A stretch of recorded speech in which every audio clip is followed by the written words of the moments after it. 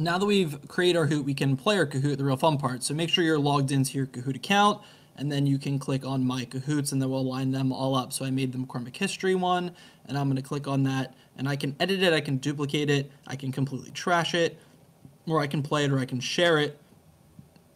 So I'm going to click on Play, which will set me up in order to play it with a class. And it gives you different options here. You can do player versus player, which is if they all have their own devices, or if you're sharing devices, you can do team devices and then it gives you a bunch of different game options. Um, these are the options that I really like doing, especially when I'm doing it in class. Uh, I always enable the answer streak bonus because kids will try to just guess in order to get more points. But if you get more point questions right in a row, you get more points for each of them.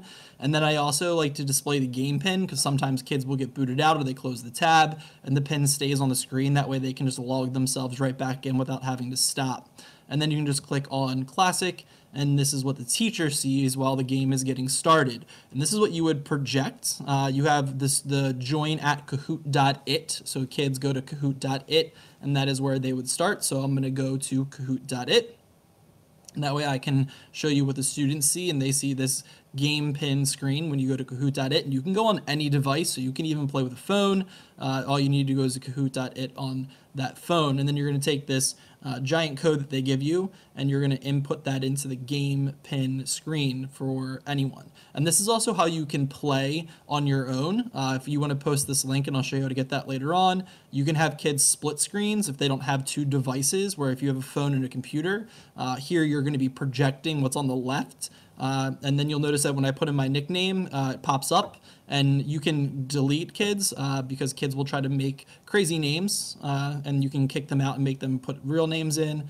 And then you can see how many people have logged in to make sure you have everyone, and then hit start. So on the left-hand side is the screen that's projected.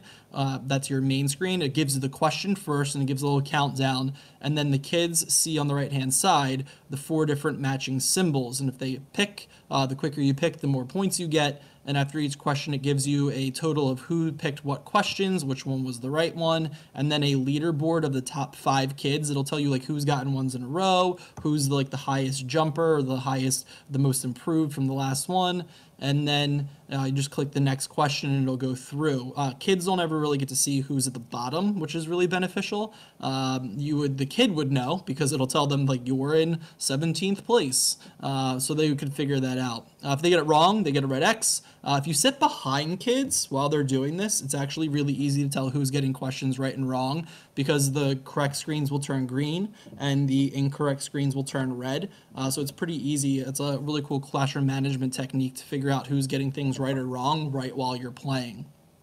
And once you finish, uh, gives a little podium of whoever got the first, second, and third place. It'll tell the kid if uh, whoever, like if they got top five. Uh, and then once you finish it, the kids can rank it. Uh, and they can say how much they liked the game, uh, which I would never really ever do that part. Uh, I usually just skip directly to where I can then see different results. Uh, one of the cool parts is they invented ghost mode, which means you can play the game later on. You can go back into your Kahoots and you can put ghost mode on, and it puts the kids' original scores in there. So you can do a pre assessment and a post assessment, uh, introducing a topic and reviewing for it, and the kids can see if they can beat their own scores. And then you can also review the results. If you hit save results, you can save the results directly to your drive. Uh, it opens up as an Excel spreadsheet, which you can make sheets if you want it to, uh, but they look very similar. It gives you a whole bunch of data on a whole group breakdown of questions. Uh, it'll give you breakdown of individual questions. It'll give you breakdown of individual kids,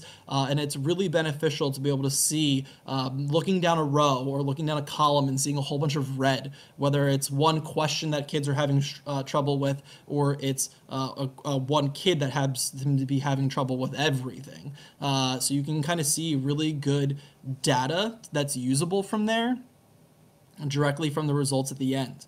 And then you can uh, go back to it and you can always share this with kids. You can either type in individual names, which you might not want to do. Instead, click on the link to the game and it'll give you this page. And there's a blue link here that you can copy and then you can paste that onto different places, like on Google Classroom. Uh, kids can then go all home and click and it'll actually tell you how many times the game's been played. Uh, so it'll say like the game's been played like 72 times. You know that kids are really playing it to review for the test.